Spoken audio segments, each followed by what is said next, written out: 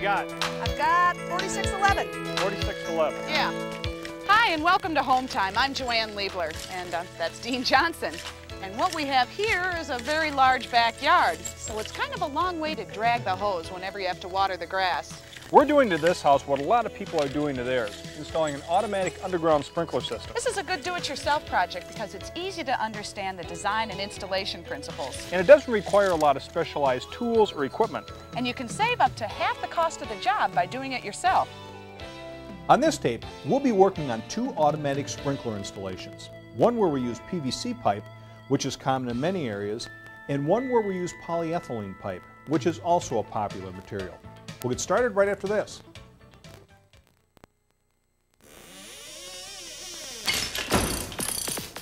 Hometime is made possible by Chevy full-size pickup, the most dependable, longest-lasting full-size pickup on the road.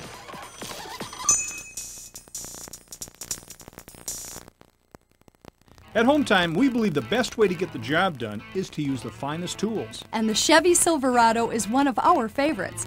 Equipped with an optional Vortec 6000 V8 engine, it generates 300 horsepower and 355 foot-pounds of torque to power you through the toughest jobs. And with an available fourth door, you've got lots of room for all your other tools. And friends to help you use them. At home or on the job site. For work or play. It's no wonder we at Hometime count on Silverado, the truck, to get the job done. Silverado from Chevy, the most dependable, longest lasting trucks on the road. When you start designing an underground sprinkler system, there's a couple of things you have to know about your house. An important one is the water flow rate. Okay, you ready? Yep. All right, go ahead. The flow rate is how many gallons per minute the house water system can supply. We got a pretty foolproof method for checking this. We've got a two gallon bucket and we're timing how long it takes to fill up. Okay, right there. Got it, 10 seconds. Now when you do this, you want to make sure the faucet's on all the way and there isn't any water running in the house. Okay, 10 seconds to fill up two gallons, so that would be 12 gallons in a minute. And that's our flow rate here. Okay, now that's one way to do it. If you have access to this sort of tool, here's another way of getting that same number. This is a flow meter. You just turn on the water, let the water flow through, and take a look at the gauge. Okay, about 12 gallons, same as we got with the bucket. Another critical step at this stage is to create a detailed scale drawing of your yard, accurate to within a foot. You want to mark in your property lines, the street, your house, okay. garage and driveway, as well as any decks, patios, walkways, trees, shrubs, or planting beds. All right. Okay, now comes the tricky part. Figuring out where to locate the sprinkler heads is the most mysterious part of the design process, and usually the hardest for the do-it-yourselfer to get up to speed on. First of all, you have to realize there are different heads to accomplish the job. There are the large ones, like these, that are designed to cover large areas. This type of head can usually spray water as far as 50 feet. It sends out a single stream and it pivots around in a circle. You adjust how far back and forth the stream turns, anywhere from a full circle down to about an eighth of a circle. When you need a medium-sized spray, something with about a 30-foot radius, you use a different type of head. In this product line, there's a head with fingers of spray that spin around. Another type of head, with a throw between about 6 and 15 feet, covers small areas. You'll often see lots of these types of heads grouped together to water odd-shaped areas. And almost all the heads we'll use are pop-up heads. When they're not in use, they sit flush with the ground. But when the water pressure comes on, the nozzle pops up a few inches. These sprinkler heads are designed to work best if they overlap. If you have a throw of 50 feet, you want to place the sprinkler heads 50 feet apart. In fact, if you want to get fancy about it, this is what they call head-to-head -head coverage. A general rule of thumb for figuring sprinkler head placement is to start in the corners of your areas. So we'll try putting one here in the corner. Then I use a compass to mark how far it'll throw, about 50 feet, which is 5 inches. And we'll make it spray in a quarter circle pattern, like this. Now let's try that in each corner of the area. Hmm. Well, we've got a 70-foot square area and a sprinkler that throws 50 feet, so we end up with very uneven coverage. We know we're going to need to put in more heads. The best way to do this is to adjust the heads so they only throw about halfway down each side. What that does is lets us put in a head in the middle of each side that sprays all the way into each corner.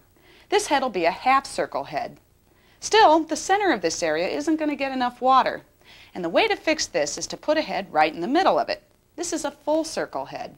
What we end up with is a pretty standard configuration for a large area. Quarter circle heads in the corners, half circle heads along the sides, and full circle heads in the middle. However, most areas won't be perfect squares. More often than not, the areas that you do work with will have irregular shapes. But even if you do start with a smaller, skinny area like this one, you start the same way. Put a sprinkler head in each corner, spring a quarter circle, and use the largest head you can. Here, because the area is only 20 feet across, 20 feet is a maximum throw we can use. But these 20-foot heads don't spray far enough to reach down the long sides. So to solve this, we put some half-circle heads along the sides. Each head goes right at the point where the spray from the previous head dies out. This way we're sure that each spot is covered by the spray from two heads. Each sprinkler head uses a certain amount of water measured in gallons per minute. So what you want to do is group all the sprinkler heads into circuits, making sure that no one circuit uses more water than the house can supply. And remember, our house flow rate is 12 gallons per minute. So here in front, this small area uses six heads, drawing a total of 5.76 gallons. All of these can run at once, no problem. However, this other big area uses 12 heads, and together they would draw a total of 21 gallons per minute. So we're better off dividing this area up into several circuits. Our aim is to draw no more than 6 to 7 gallons per minute on any one circuit. In other words, we don't want the sprinklers drawing all the water available to the house at any one point in time. Instead, we'd like to save some of the 12 gallons per minute for other uses in the home. All right. That's a good straight line there. All right, our next step is to transfer the design on our plan to the yard. And we're doing that using these little flags. Each flag represents a sprinkler head. All right. Okay, now the next one is right here in the center. Okay, I'm still at 22. You yep. want to stay there? Yep, that's the same distance. Okay.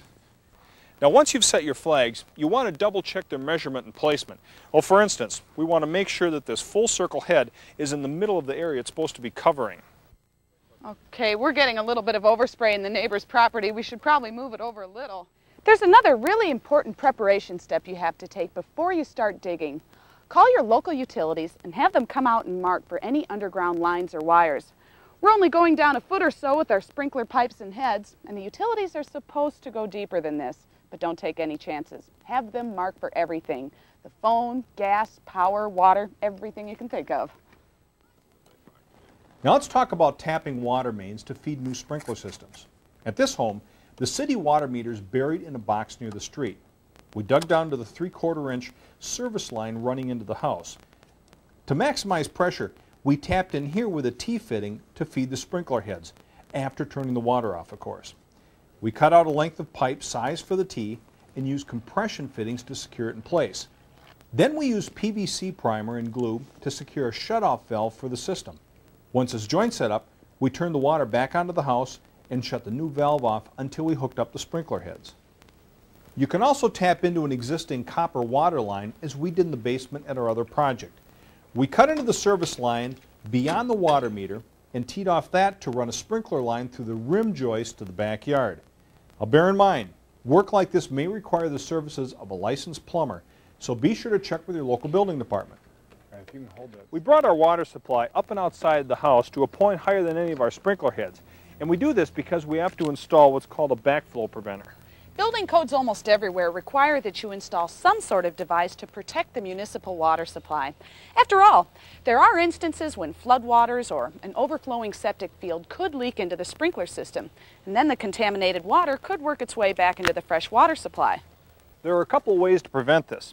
On this house, we'll be using a backflow preventer, or what's officially known as a pressure vacuum breaker. This prevents water from the sprinkler from flowing from the yard back into the house. We're going to run a little bit more copper down from the backflow preventer and into a hole in the ground. And we'll start making our sprinkler connections from this point. There are other ways of providing the required backflow prevention. We'll be doing another system on our first house.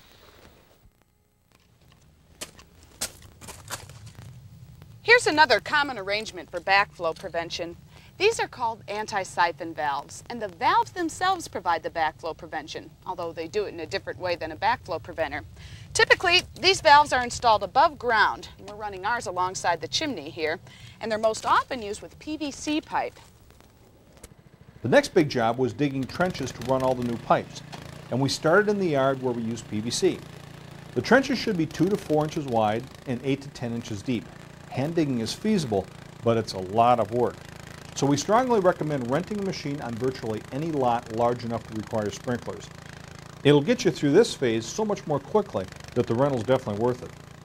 Even before all the trenches are dug, we want to start putting in the pipe. After all, the sooner the sprinkler system is up and running, the sooner we can start spreading some grass seed, watering, and getting rid of these ugly lines of dirt. Now there are different grades of PVC pipe. This is class 200 pipe, and we're using diameters that are 3 quarters of an inch and an inch, and all sorts of elbows, tees, adapters, fittings, and saddles. We recommend that you make all of your connections before you put your pipe in the ground.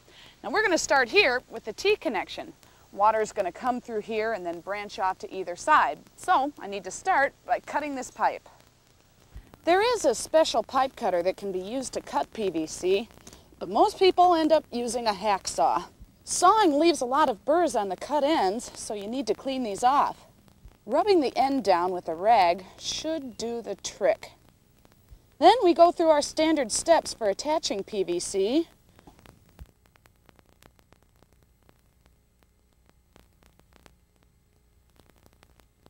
Doesn't take long to glue all three legs of the T and move on to the next fitting.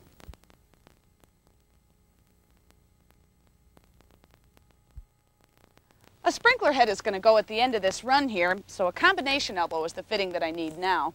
And I ran the pipe a little bit long, so now I can cut it right where I need it.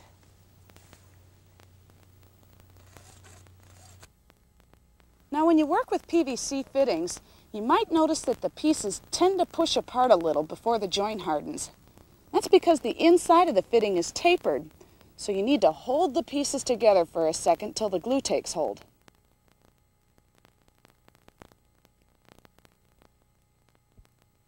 This PVC pipe comes in 20 foot lengths, so you need to connect them together if you've got a long run. Each pipe has a bell fitting at one end, so that makes this a little easier. The pipe is enlarged a little so that it'll slip over the other piece.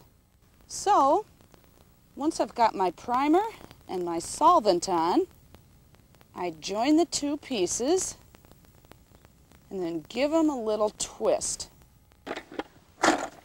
Now you can see that our trench doesn't run in a perfect straight line, but that's okay because PVC pipe does have some flexibility. Now for the saddle connection that I'm making next, I don't have to cut the pipe. I can just put a little primer on top of the pipe where I want the fitting to end up.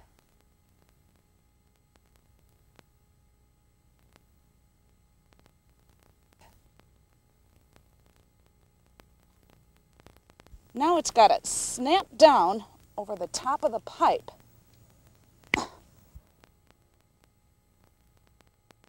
Now this doesn't have an opening in it yet for the water. We'll have to come back later and drill it out. As water travels farther out into the yard through the pipes, it tends to lose its pressure a little bit. So if your pressure is marginal to begin with, you may want to think about increasing your pipe size as you head back toward the water source and that way, the very last head on the run will be sure to have enough water pressure to operate. Now that's what we're doing here. We've got our three quarter inch pipe toward the end of the run where we've started to make our connections. And we're going to move into one inch pipe as we head back toward the house. And the way to make this transition is with a one inch tee with a reducing bushing. This bushing fits into one side of the tee so that it'll fit a three quarter inch pipe. So our one inch pipe attaches to one side of the tee and our three quarter inch pipe travels out to where we've already been working. PVC pipe will bend a little, but sometimes it's best to build in a turn. You're pretty much limited to 45 degree angle turns or 90 degree angle turns. Well, for instance here, we're using this 45 degree elbow to make the transition turn up here.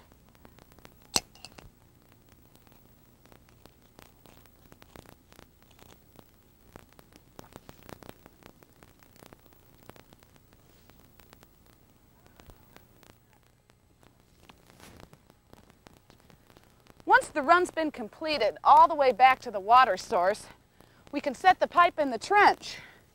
There we go. We've just been holding it in place over the trenches with these short scraps of PVC. Okay, I put together what's called a valve manifold. It runs water from our point of connection out to the individual circuits through our control valves. Now I'll set this in this hole over here, like so, and you'll notice that the control valves stick a little bit out above grade. At the bottom of the manifold, we have one inch T-fittings with short pieces of pipe between them. Now we cut these connecting pipes long enough so that if we ever have to replace one of these valves, we've got enough room to be able to spin it around and unscrew it. Now, the first connection I'm making here to the manifold is the water supply line that feeds water into all the valves. And next, I'm connecting the pipe that feeds out to our first backyard circuit.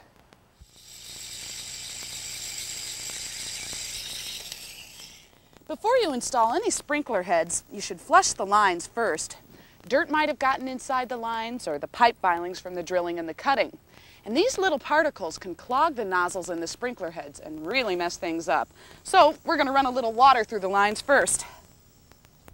To flush the lines effectively, we've got these little pipe caps to stop up all the fittings in the line except the last ones. For this circuit, I've left the elbow at the end of each branch open. Now we can start the water. Now I've already turned on the main valve at the point of connection. Now we can open the control valve for this circuit. Okay, Dean, go ahead. Okay, here it goes. Now we'll just let the water run out of these fittings that are on the end. Whoops, here we go. Now this can get a little bit messy, but you really should let this water run for at least a minute or two. The trench will probably fill up with water, but this really is a necessary step.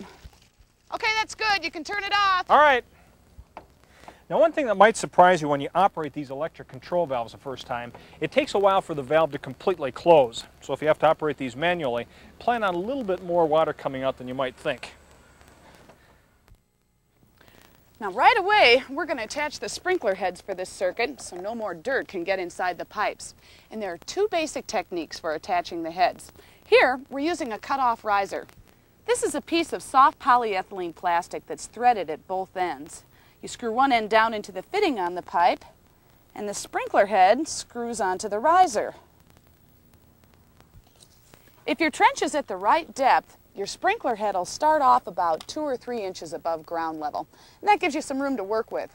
However, you want the head to be right at ground level so the grass can grow a little higher around it. So we need to take off about two inches here. So I unscrew the riser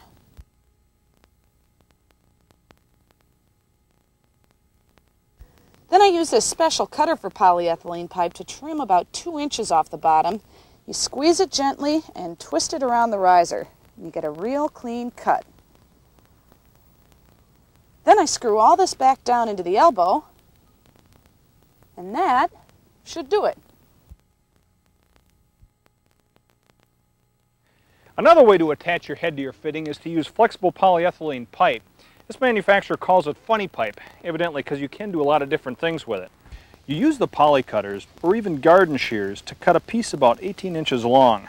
Then you screw one of these little barb connectors onto the bottom of the head. And then I take off the riser and the cap and screw another connector onto the T-fitting. Now I jam the funny pipe over the end of the fitting and with a little bit of up and down motion like this, you can usually get it on fairly easy. And these fittings have little barbs, and these hold the pipe in place and make a watertight seal.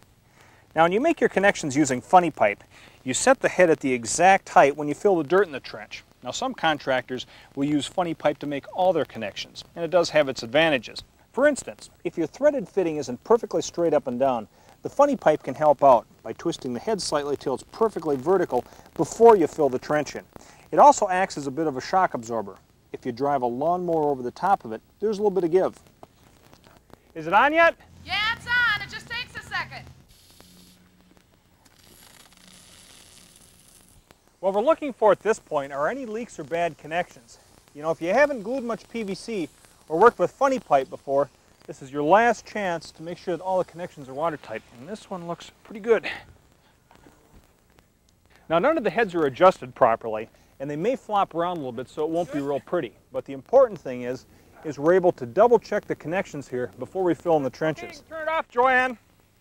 Once you've tested the circuits and everything's looking good, you can go ahead and fill the trenches back in flush with the surface. Be sure to compact the soil really well to prevent any settling. And make sure each sprinkler head is free of dirt. Now the last step on this circuit is to adjust the head so that the water sprays where it's supposed to. Now on this head, it's supposed to spray in a quarter circle pattern from here to here. With different heads, you make the adjustments different ways. Sometimes you just turn the whole head to get it to spray in the right direction. For other adjustments, you have to release a locking screw. Then we can change the arc from a half circle to a quarter circle.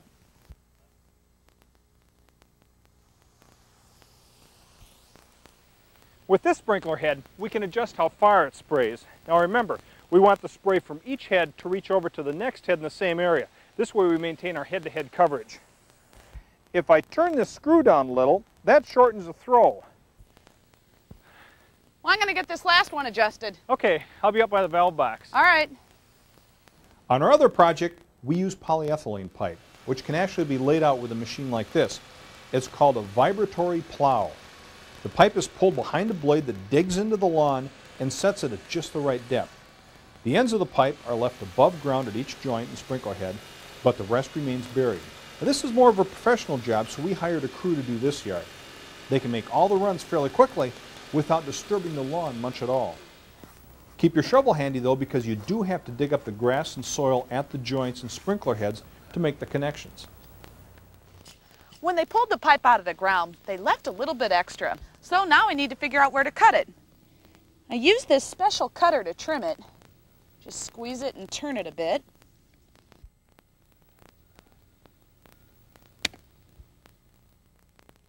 And the handle of the cutter is shaped so that I can stick it into the cut end of the pipe and stretch it out a little. This makes it easier to put on the fitting. Then I slip two of these little metal hose clamps over the end. A sprinkler head will go here, coming out of an elbow. And this works the same as an elbow in a PVC system, except when you're working with poly, you don't use any glue to attach it to the pipe. The ridge side of the elbow goes into the end of the pipe. This isn't always the easiest thing to do. Sometimes you got to use a rubber mallet to persuade it a little.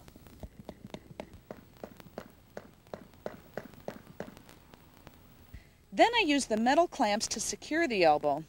There's a special tool, kind of looks like a wire cutter, that you use to squeeze the clamps tight. I want to make sure that the two clamps both tighten down over the ridged section of the elbow. From here on in, it's just standard operating procedure. We'll cut the riser off so that the sprinkler head will sit at the right height, screw it in, move on to the next one. The T-connectors for polyethylene pipe have these ridge inserts on all three legs. First I have to take a section out of one pipe to make room for the T-fitting. And sometimes you forget to put the clamps on. Always put those on before you put the fitting in. Now here's the part that takes a little muscle. I try to bend the first piece a little to give me room to slip it over the other end. Okay, now I cut the last piece to length slip on the pipe clamps and work it into the third connector on the T. And I like to wait until all three of the pipes are connected to the T before I tighten any of the clamps. With polyethylene pipe, there's a special trick you can do when you have to make a saddle connection, like we've got to do here. You don't have to cut the pipe open. What you do is clamp this saddle around the pipe and tighten it down with a nut driver.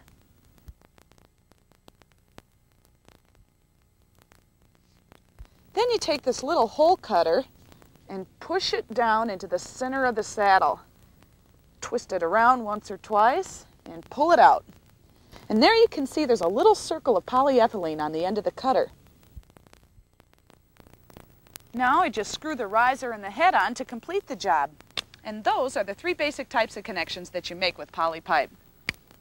Just like there are different types of pipes for different parts of the country, there are also different methods for installing the control valves.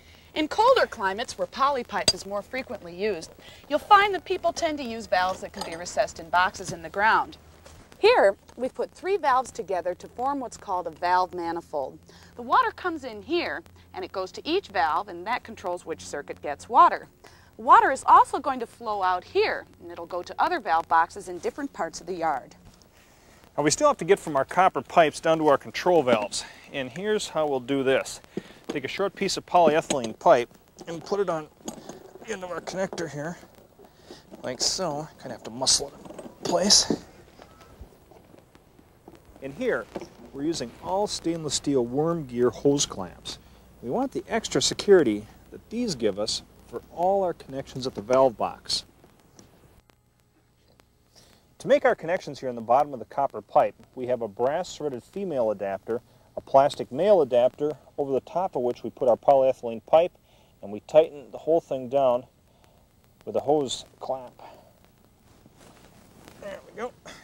Finally, we connect the pipe to complete our first circuit. And after testing it, we can finish the rest using the same techniques. But right now, let's move back to our first project to talk about automating a sprinkler system. Just about. All right, well, I'll be in the garage. Okay, I'll be up in just a minute. Now, some people are happy with a system that gives them nothing more than we've got here. We've eliminated all the hose and sprinklers used in the yard. They're just a couple of knobs to turn on. But by stopping at this point, you miss one of the main advantages you can have in a system like this, and that's automatic controls. These are electric valves. They can be turned off and on with an electronic controller. Now to get this all set up, we'll run wires between the electric valves and the controller. Now our sprinkler order came with some six conductor wire. We can hook up five valves with this. One conductor, this white one, will be a common lead to all the valves. And then the other five wires will each go to an individual valve. With this type of valve, you just shove the wire into a little slot in the handle, and this is what makes the electrical connection. Now I put a common white lead into one terminal, and I take one of the color leads and I put that into another terminal on the valve. Then I take a little extra piece of wire here and run a white common from the other terminal here on the valve to the next valve over. But before I do that, I place a cap on the top here. This covers the connections and keeps from accidentally pulling out. All right, well that takes care of wiring the valves. Now you'll notice that each valve has a common wire running to it and a colored lead. Now it's a good idea to leave a little extra wire in case you want to turn the valves off or on. So what we've done is just coiled up a little bit of wire on each one of the leads. And the cable runs through a hole into the garage.